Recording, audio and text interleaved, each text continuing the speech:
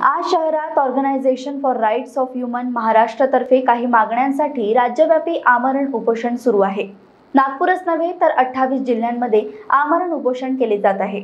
जर मागण्या पूर्ण झाल्या नाही तर हे उपोषण असेच सुरू राहील अशी चेतावणी जिल्हाध्यक्ष दामोदर हळवे यांनी दिली आहे. वादग्रस्त अनुसूचित जमाती जात प्रमाणपत्र पडताळणी समितीच्या भोंगळ कारभाराची चौकशी करावी अधिसंख्य सेवानिवृत्त कर्मचाऱ्यांना त्वरित पेन्शन लागू करावी ग्रॅज्युएटी व इतर लाभ मिळावे. अधिसंख्य मृत कर्मचाऱ्यांच्या वारसास पेन्शन व इतर लाभ देण्यात यावेत.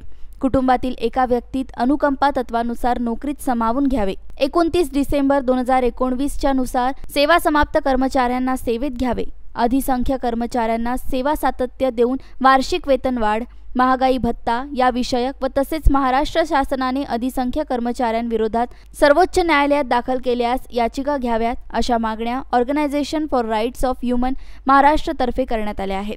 मागण्या पूर्ण न झाल्यास उपोषण असेच सुरू राहील अशी चेतावणी जिल्हाध्यक्ष दामोदर हळबे यांनी दिली आहे. मी दामोदर हडगी जिल्हाध्यक्ष जिल्हाध्यक्ष आज मोर्चाचे आज जे आमर उपोषण सुरू आहे हे अख्खा महाराष्ट्रभर सुरू आहे.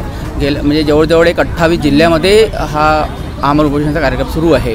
विषय विषय असा आहे की जे आम्हाला अधिसंख्य वर्ग केलेले आहे तर गेल्या एकतीस महिन्यापासून जे जे सेवानिवृत्त झालेले आहेत त्यांना पेन्शन नाही आहे ग्रॅज्युटी नाही आहे आणि जे सध्या सेवेत आहे तर त्यांना फक्त अकरा अकरा महिन्याच्या कॉन्ट्रॅक्ट बेसिकवर ठेवण्यात आलेलं आहे. ही फार गंभीर गंभीर बाब आहे. आणि दुसरी गोष्ट अशी की चौ चार पॉईंट दोननुसार जे सेवेच्या बाहेर आहेत त्यांना कामावर आमची मागणी आहे. तुमची मागणी पूर्ण नाही झाली त्याच्यावर जर आमची मागणी पूर्ण झाली तर आम्ही आमरण उपोषण करणार. कुठे आम्ही इथून हलणार नाही झुलणारही नाही. मैं नागपुर जिला की उपाध्यक्ष हूँ मधु पराड। ये हमारा राज्यव्यापी आमरो उपोषण चालू है अफरो संगठना की ओर से। और हमारी मांगे हैं कि हमारा अधिसंख्यक पद रद्द किया जाए और जो हमारे भाई बहन रिटायर्ड हो चुके हैं। उनको उनकी पेंशन मिले, उनकी ग्रेजुएटी मिले। और जिन लोगों को सेवा से निकाला गया है, उन्हें 4.2 के अनुसार सेवा पे लिया जाए।